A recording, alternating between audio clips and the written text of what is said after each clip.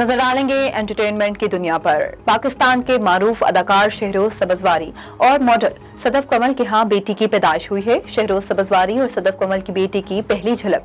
अदाकारा और मॉडल महरीन सैयद की जानब से अपने इंस्टाग्राम अकाउंट पर शेयर की गई, जिसके बाद अदाकार जोड़े की बेटी की तस्वीर सोशल मीडिया पर जेर गर्दिश है। महरीन सैयद ने शहरोज और सदफ को बेटी की पैदाइश की मुबारकबाद देते हुए लिखा कि माशा अल्लाह की रहमत।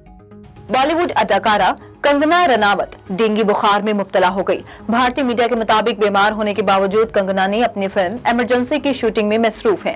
अदाकारा के प्रोडक्शन हाउस के इंस्टाग्राम अकाउंट से जारी बयान में इंकशाफ किया गया कि कंगना के जिसम में खून के सफ़ेद खुलियों की तादाद कम है और वो तेज बुखार में मुब्तला है। लेकिन वो बीमार होने के बावजूद काम कर रही है। दूसरी जानब कंगना ने अपना इंस्टाग्राम स्टोरी शेयर करते हुए अपनी टीम का शुक्रिया अदा किया और लिखा की जिसम बीमार है, रो नहीं।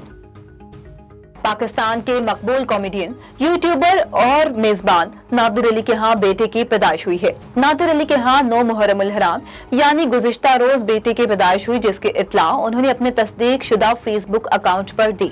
नादिर अली का अपनी पोस्ट पर कहना है कि नौ मुहरम हराम, हिजरी को अल्लाह ने मुझे और मेरी प्यारी बेबी को बेटे की नेमत से नवाजा है। अल्हम्दुलिल्लाह। उन्होंने लिखा कि काश हम अपनी खुशी को लफ्जों में बयान कर सकते। अल्लाह हमारे बेटे को हमारी आँखों की ठंडक बनाए और इसे अपने मकसद के लिए चुन ले। अपने दुआओं में याद रखें।